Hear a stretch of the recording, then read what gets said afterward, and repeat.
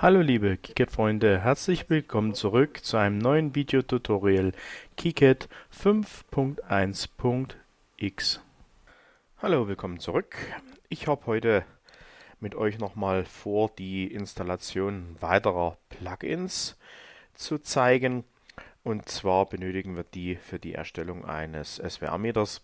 Äh, ich habe hier mal so einen Messkoppler rausgesucht aus einem kleinen Projekt aus der Vergangenheit. Und das möchte ich dann entsprechend umarbeiten zu einer SWR-Messbrücke. Ich habe mir da auch schon diverse Schaltungen aus dem Internet herausgesucht. Und äh, dafür brauchen wir dann einige weitere äh, Plugins, um so eine HF-taugliche Platine erstellen zu können und äh, wir soll, oder soll dann am Ende mal ein funktionierendes Stehwellenmessgerät dabei herauskommen, zumindest die Platine dafür. So, wie gehen wir dazu vor?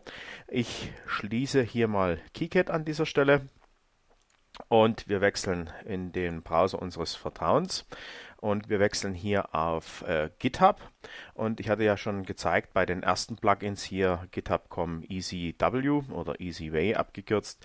Hier sehen wir diverse Projekte dieses Entwicklers. Wir können hier mal auf die Repositories draufgehen. Da sehen wir, was hier alles äh, noch zur Verfügung gestellt wird von diesem Entwickler, unter anderem auch äh, Color Shames für KiCad, wer, wer, sich das installieren möchte. Auch das ist hier noch herunterladbar. Vielleicht mache ich da nochmal ein Video zu.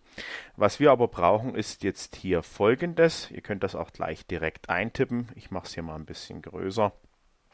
Und zwar diese KiCad Action Scripts. Das heißt, ihr könnt jetzt hier direkt oben in der Browserleiste durchtippen github.com, dann easyw äh, slash KiCad Action Scripts und ihr kommt dann auf dieser Seite heraus. Wir sehen jetzt hier, ich mache es wieder kleiner, noch einige Tools, die wir brauchen und zwar hier einmal dieses VIA Stitching. Das erzeugt eine VIA-Fläche über die gesamte Platine. Die wird also mit VIAs gefüllt, um hier kapazitive Effekte auf einer HF-Platine so gering wie möglich zu halten. Das sieht man jetzt hier vielleicht auf dem Bild etwas schlecht, aber ich zeige es nachher gleich.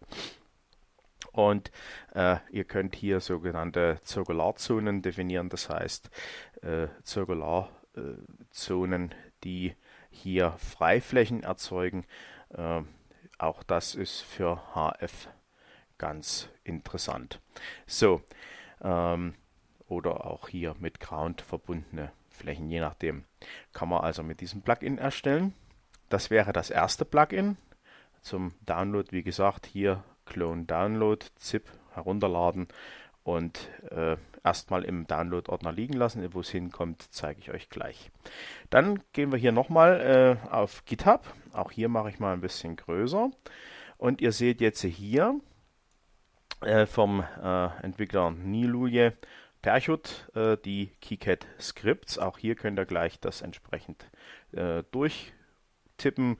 GitHub.com, dann den Entwicklername, die KiCad Scripts, Scripts, Tree, Master und dann die sogenannten Teardrops. Also äh, was das ist, zeige ich gleich hier nochmal.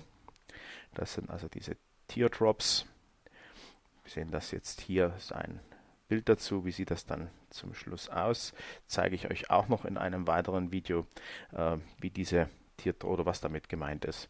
So, äh, bei der Installation dieses Skripts muss man dann ein bisschen aufpassen, zeige ich euch gleich. Wenn ihr die beiden äh, Plugins heruntergeladen habt, wie gesagt, funktioniert hier ebenfalls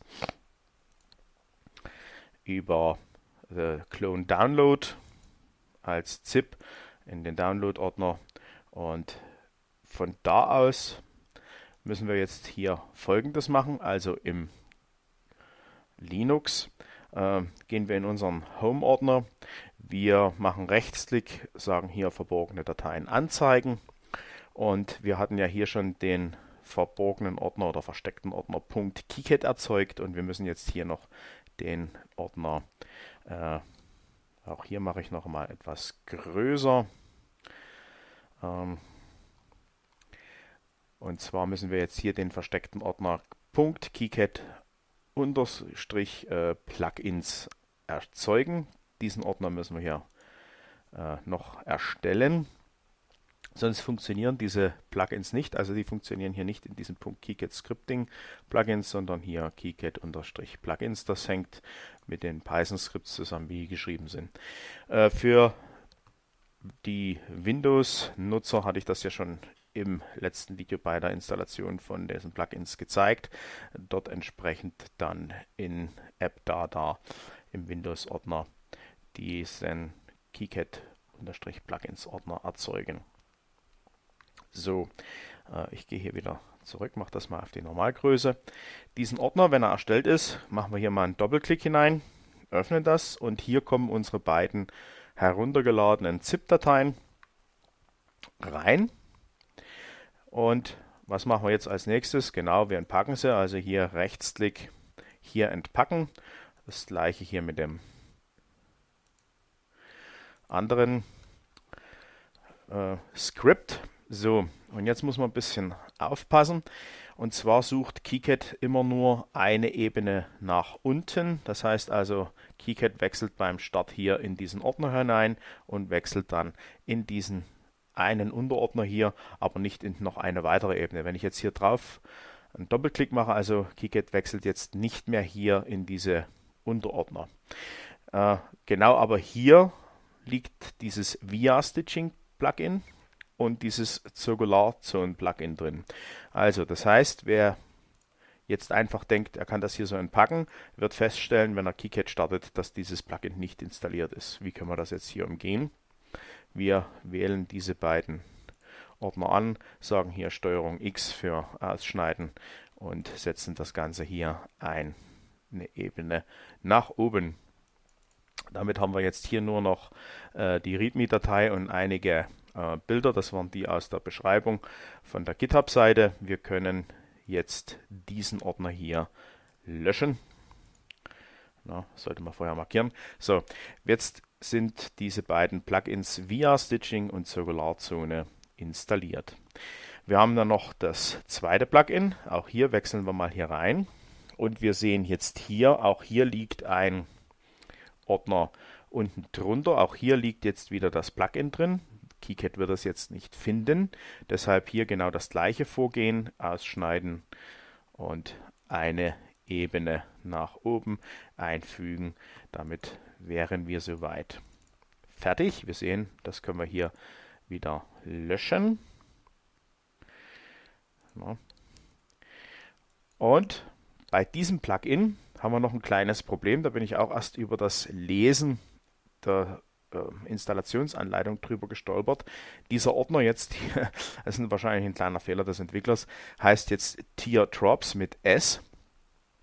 Wenn wir aber hier in die README hineingehen, ich gehe hier mal in diesen Unterordner, dann sehen wir hier Install, also just copy the Tier Drop oder Tier Dop Folder in KiCad Plugins. Aha, hier steht es richtig, einmal ohne dieses S. Bei der Installation haben wir jetzt hier dieses S drin, was dazu führt, dass das KiCad einfach nicht findet, weil die hier hinterlegten äh, Python-Skripte wahrscheinlich dann diesen äh, Ordner Tier Drops nicht finden. Also deshalb äh, einmal umbenennen, dieses S weg. So, damit sind wir jetzt hier richtig und äh, unsere drei Plugins sind jetzt installiert. Ich gehe mal hier wieder auf die Normalansicht. Man kann jetzt hier diese ZIP-Files löschen, wer das möchte. Man kann sie auch hier drin liegen lassen, hat man sie nochmal vorrätig. Das überlasse ich jedem selbst.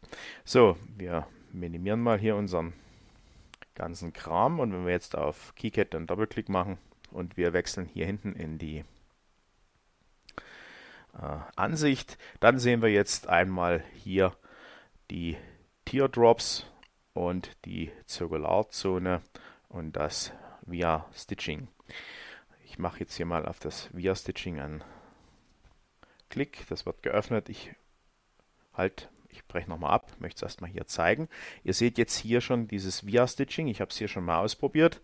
Und jetzt machen wir mal hier das via Stitching auf. Ich sage hier mal Delete Vias.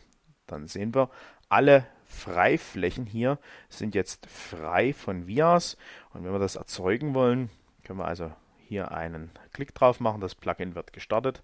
Wir können jetzt die äh, für das VIA hier Vorgaben machen mit der äh, Copper Size, also 0,8 mm äh, Fläche, dann die Bohrung 0,4.